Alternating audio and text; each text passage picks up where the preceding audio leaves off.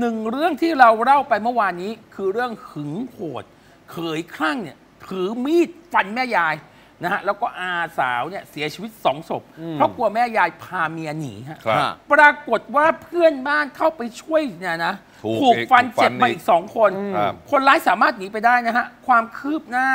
เมื่อวานนี้ทางเจ้าหน้าที่สามารถจับตัวเขยคลั่งได้แล้วนะฮะ ครับ โดยมีพลเมืองดีเนี่ยพนักงานของโรงงานน้ำแข็งดอกคูณสีบุญเรืองเนี่ย ว่าพบผู้ต้องสงสัยหน้าตาคล้ายกับผู้ก่อเหตุฟันแม่ยายเนี่ยแหละฟันบุคคลอื่นแล้วก็ขับรถชนผู้เสียชีวิตเนี่ยแล้วก็หลบหนีอืมซึ่งหลบอยู่ที่บริเวณบ้านล้างฝั่งตรงข้ามกับโรงน้ำแข็งครับจึงได้ส่งรูปเนี่ยให้เจ้าหน้าที่ชุดสืบสวนเนี่ยได้ดู แล้วก็ได้ควบคุมตัวนายบอลววัฒนยูได้ที่บริเวณบ้าน โดยไม่ได้มีท่าทีขัดขืนในสภาพที่ไม่สวมใส่เสื้อ แล้วก็ใส่กางเกงขาสั้นครับในช่วงที่เจ้าหน้าที่ตำรวจเนี่ยเดินทางไปควบคุมตัวนายบอลเนี่ยทางด้านภรรยาก็ติดตาม ไปดูอยู่ห่างอืมๆจนกระทั่งเมื่อเจ้าหน้าที่ควบคุมตัวนายบอลเนี่ยขึ้นรถน้ำภรรยาได้ใช้มือตบที่กระจกตรงบริเวณที่นายวัฒนยูนั่งอยู่ครับ พร้อมกับร้องไห้เลยครับ หลังจากนั้นชุดที่ควบคุมตัวนายบอลมาถึงสถานีตำรวจ น้ำได้เข้าไปสอบถามนายบอลในห้องสืบสวนเลยว่า มึงทำอะไรลงไปมึงรู้ตัวไหมอืมมึงทำอะไรลงไปมึงรู้ตัวบ้างไหมครับไปดูภาพเหตุการณ์สักนิดหนึ่งฮะค่ะเธอบอกหมาเธอเขาบอกคิดหอนหมาเธอบอก หันตัวเธอเห็นเห็นหยังตอบให้ใหญ่ฟังแน่ล่ะ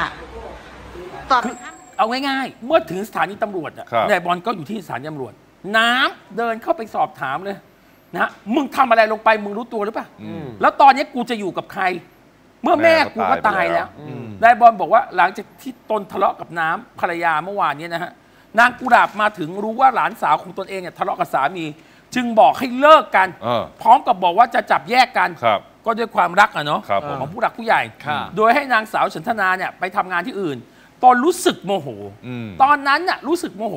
จึงใช้มีดเนี่ยฟันไปที่ญาติจนเสียชีวิต ครับ จากนั้นจึงขับรถจักรยานยนต์นะฮะ ที่ใช้มีดจี้เอามามาจาจากกร้าร้านนอาอาหาหารรแห่งหนึ่งเนี่ยขับวนเวียนอยู่ตามเส้นทางในหมู่บ้านนั่นแหละ จนกระทั่งน้ำมันหมด อืม น้ำมันก็มาหมดบริเวณใกล้เคียงกับโรงงานน้ำแข็งนั่นแหละ ครับค่ะ ไปตามเส้นทางในหมู่บ้าน ก็เลยแอบมาหลบซ่อนหลับนอนอยู่ตรงเนี้ยมาตั้งแต่เมื่อวานเย็นแล้ว ครับอืมซึ่งนายบอลเขาก็บอกว่าเขาตัดสินใจยอมมอบตัวตั้งแต่เมื่อคืนนี้แล้วหลังก่อเหตุ แต่ว่าไม่สามารถจะติดต่อเจ้าหน้าที่ได้ เนื่องจากตนเองเนี่ยไม่มีโทรศัพท์ เมื่อเช้าก็เดินวนเวียนลัดเลาะอยู่บริเวณใกล้เคียง เพื่อที่จะให้มีคนเห็นตน นายบอลบอกว่ารู้สึกเสียใจกับสิ่งที่ทำลงไป แล้วก็ยอมรับว่าผู้ตายทั้งสองคนเนี่ยเคยมีบุญคุณกับตนมาก่อนด้วย ยอมรับว่าตนเองเนี่ยเคยทำร้ายน้ำภรรยามาแล้วหลายครั้งเมื่อทะเลาะกัน แต่ตนเนี่ยก็ไม่เคยคิดจะเลิกรากับภรรยาแต่อย่างใด แต่พักหลังเนี่ยตนก็ไม่ได้ทำร้ายภรรยาแล้ว และทำไมยังจะมาบอกว่าจะเอาหลานหนีไป อยากให้ไม่อยากให้อยู่ด้วยกันอีก ตนจึงเกิดโมโหขึ้นมาอีกครั้งหนึ่ง ทางฝั่งของน้ำเปิดใจบอกรู้สึกเสียใจฮะที่ตนเป็นสาเหตุเนี่ยให้ย่าครับ และอาต้องเสียชีวิต เหมือนตนเองที่เป็นคนโทรศัพท์ไปเรียกย่าและอามาตายให้มาช่วยอะเขาว่าอย่างนั้นมเหมือนไปเรียกย่ามาตายอะครับ น้ำบอกว่าได้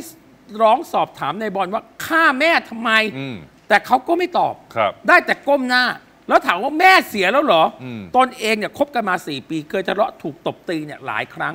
แต่ก็ไม่อยากจะบอกแม่ เพราะว่าแม่เนี่ยแก่แล้วกลัวแกจะคิดมากครับบางทีก็จะบอกบ้างรู้สึกดีใจที่เจ้าหน้าที่ตำรวจจับตัวได้เพราะอะไรฮะ เขาเป็นคนทำกับแม่ที่เลี้ยงหนูมาตั้งแต่เด็ก เพราะตอนนี้ก็เหลือเพียงแม่คนเดียวครับแต่ก็ต้องมาจากไปถามกับเขาเนี่ยทำร้ายแม่ทำไมอืมทำไมไม่ทำกับหนูอืมเขาก็ไม่ตอบครับเขาสมควรที่จะได้รับลงโทษตามกฎหมายที่เขากระทำกับแม่ของตัวเองครับนะครับ ซึ่งก่อนหน้าเนี้ยจะก่อก่อเหตุเนี่ยเขาจะเป็นคนที่กลับมาจากทำงาน ก็จะมาทำอาหารให้หมาอ๋อแล้วก็เล่นเกมครับแต่เท่าที่เห็นเนี่ยเขาไม่ได้ยุ่งเกี่ยวกับยาเสพติดนะอืมอืม จริง ๆ แล้วนายบอลเนี่ยอายุไล่เลี่ยกับตนเองตน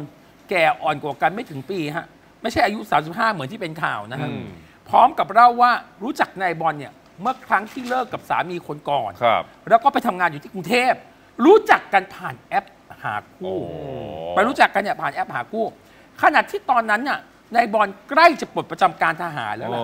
หลังจากนั้นก็อยู่กินกันมาโดยตลอด แล้วก็รู้ว่านายบอลเนี่ยเป็นคนอารมณ์ฉุนเฉียว เป็นคนโมโหง่าย ตนถูกทำร้ายอยู่บ่อยครับ ๆ หลังจากนี้ก็จะเลิกราก็คงต้องเลิกต้แล้อวงล่ะเลิกแล้วเขาติดคุกโดยเด็ดขาดอืมเพราะทำใจไม่ได้นะที่นายบอลมาฆ่าย่าของตน